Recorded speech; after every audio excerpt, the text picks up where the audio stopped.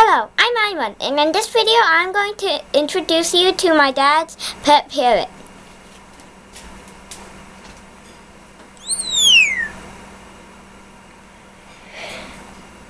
Hello. This is no ordinary parrot, this is an African grey. The parrot's gender is female, but her name is Romeo.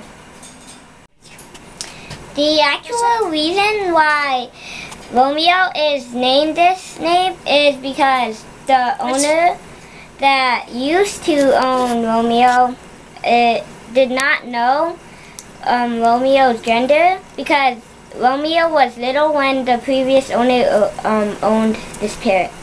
Was because the of the first word that this parrot said. It was Romeo. Ro we had Romeo for seven years now. She is 20 years old. Romeo can say over 700 different words. Some of them is mom and dad. An African Grey is a one-man pet because the African Grey doesn't trust other people.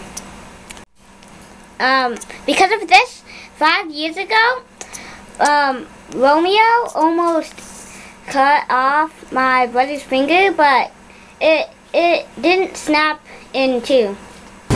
Only my dad can pet Romeo because the Romeo only trusts my dad.